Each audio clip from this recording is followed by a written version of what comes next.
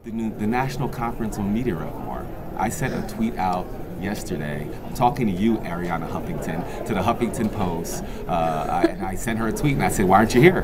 Like, you know, like I think a lot of the uh, quote unquote lefties, uh, that's a news outlet that we kind of respect and look up to, and I, and I do, and I certainly like. I, I read the Huffington Post, I watch MSNBC, I listen to Air America, and I want Ed Schultz to be here. I want Thom Hartmann to be here. Um, Amy Goodman and Juan Gonzalez are here. Like you know what I'm saying. So I think that for I think that unless our ideology is just some sort of profit-making audience for major media to pitch to, unless it's just profitable to, to give me, you know, Thom Hartmann on a weekday because you can sell ads, then then you should be here. Like you should be in this with the public access TV stations and the pirate radio stations and the emerging kind of media blogosphere. Like they, if they're one of us and, speaking with us and not for us, uh, and selling our, our eyes and our pocketbooks to advertisers, then they should be here.